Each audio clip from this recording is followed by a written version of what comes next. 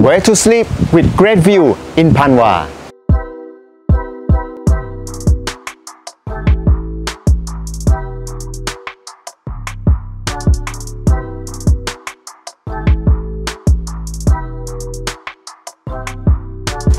Hello, welcome to Where to Phuket.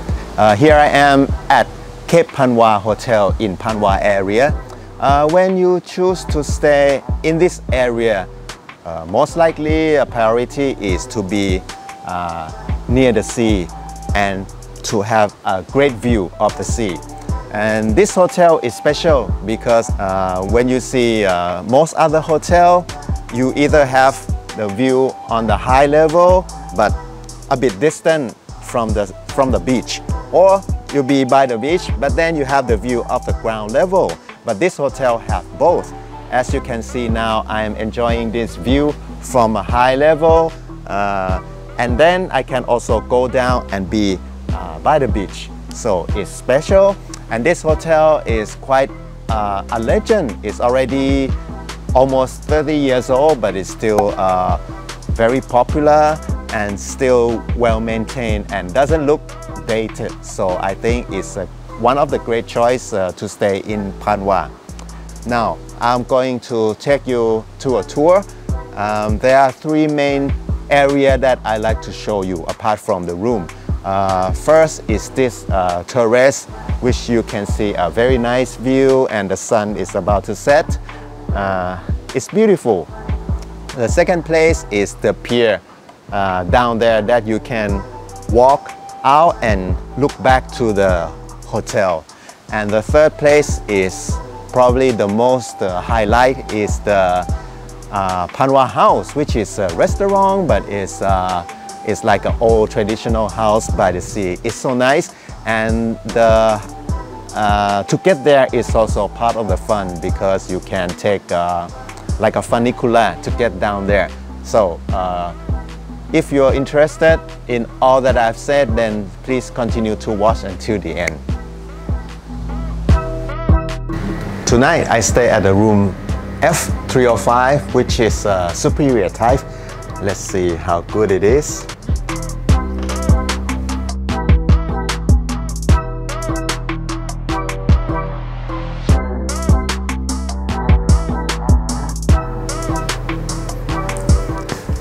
Nice big bed, TV here.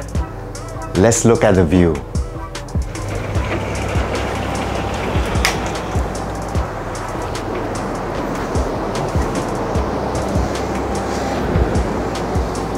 Wow. We see the curve of the sea and there's a nice place to sit to enjoy the view. Ah. I think if it's not too hot, I can be here for like hours.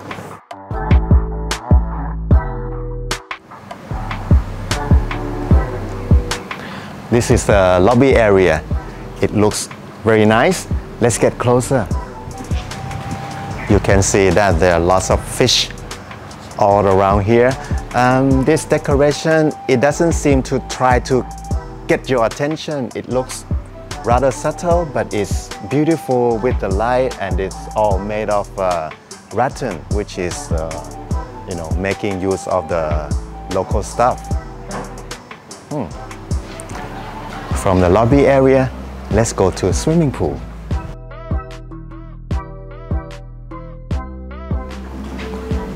It's a swimming pool with sea view. Here's a second spot to see the view. It's the pier and the entrance is here. Let's go.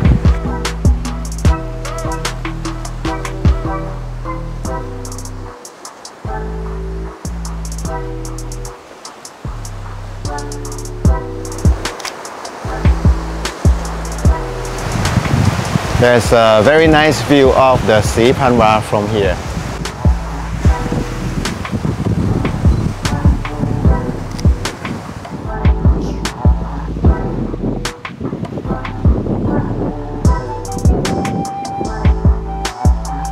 At this moment, it's the best hour of the day. Uh, the wind is quite cool. The light, the sunlight is soft enough and it's about to turn gold soon. So, and it's also very quiet. I think it's a very good spot to uh, feel the sunset even though we don't really see it because it's just right behind the hotel. But look at the color, it's so nice. Is this tempting enough for you? We haven't got to the most highlight of this hotel yet, which is just right over there. And I hope to see it with a great light tomorrow morning. Over there is a Panwa House, which is a restaurant and an old house by the sea. Uh, from here, it's quite nice. I like to have it picture here until dark and then tomorrow we'll go there. So please stay tuned.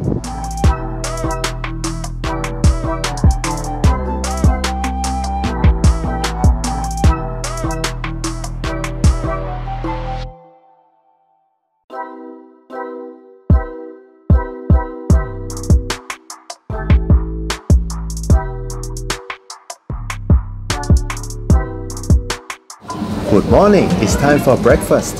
Apart from the good selections they have, uh, this place, it has another advantage is that uh, both sides you can see the view of the sea. On this side is like uh, wide with some islands. On this side you will see the swimming pool and also the Sea Panwa uh, hotel in the background. So you can choose whichever that you like. Now I'm going to enjoy my meal. Bon appetit. Now let's go to see Panwa House. You might have heard uh, that it's not the destination but the journey. But for this case, I think it's both because uh, the destination, the house is beautiful. But another important thing is that how to get there. This hotel, they have a gimmick because we will go by funicular. Let's have a look.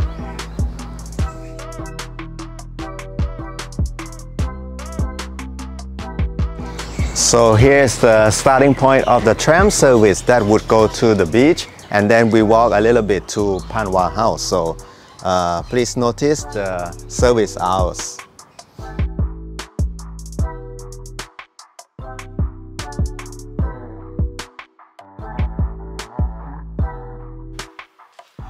From this part on, it will be like a POV style. As mentioned earlier, the journey is part of the fun. Riding a funicular is a good experience as I haven't seen other funicular in Phuket yet. Even though it's not difficult to walk down, but why not benefit from this luxury?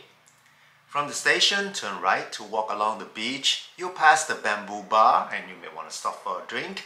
And here it is, Panwa House. It's an old Sino-Portuguese house that's still in perfect condition. For the Sino-Portuguese part, it doesn't look quite like those old mansions in Phuket town with the shape, the window decoration and so on.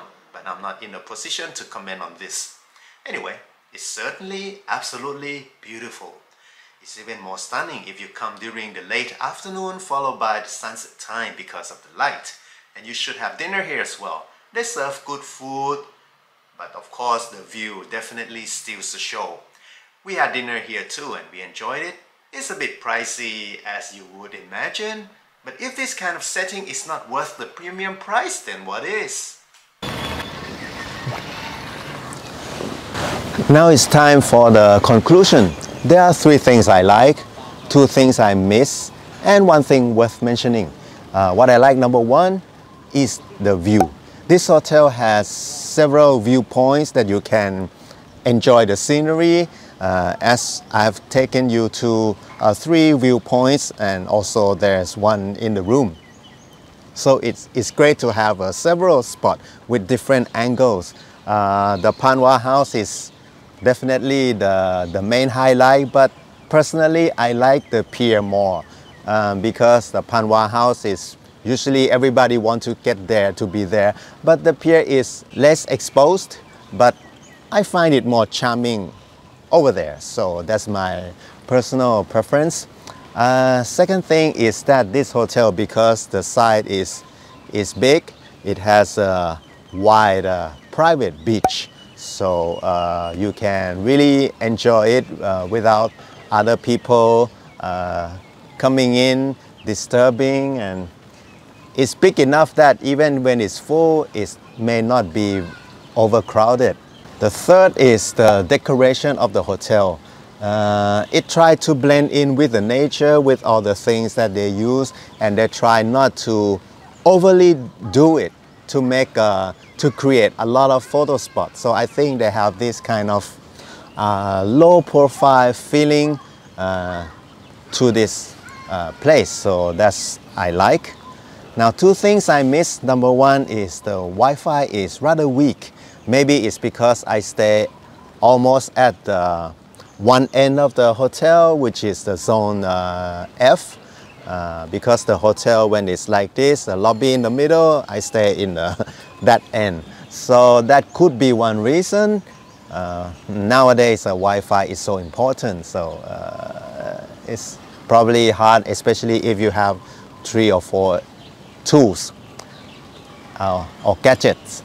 Uh, the second thing I miss is that in the bathroom, even though it's very good, um, I miss the, the hook. You see there's a, a, rail that you can put your towel on, but there's no place uh, to put on the clothes or the dress. So uh, we just have to find somewhere and put it. Uh, it's a little thing, but it's just that, what, why, it's not there. Uh, yeah.